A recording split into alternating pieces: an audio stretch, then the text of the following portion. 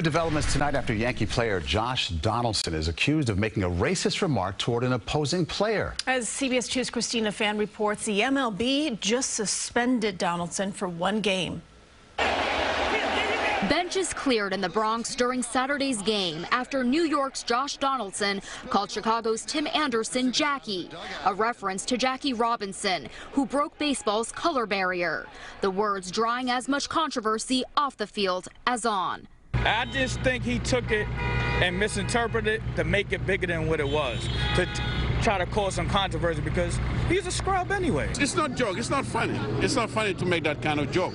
Donaldson claimed he was making a lighthearted jab, explaining the Jackie comment was in reference to a 2019 Sports Illustrated interview in which Anderson described himself as feeling like today's Jackie Robinson, isolated in a predominantly white sport. Uh, you know, he made a comment and, uh, you know, it was, it was disrespectful, and uh, I don't think it was called for. 2019, when I played for Atlanta, we actually joked about that on the game.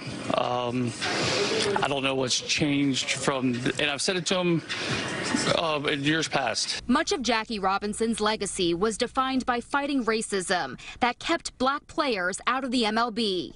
ESPN columnist William C. Rhoden says if you know the history of this country, it's no laughing matter. You have to take the temperature, not just of that game, but did you know that that 10 innocent black people got murdered in Buffalo. Did you think about that?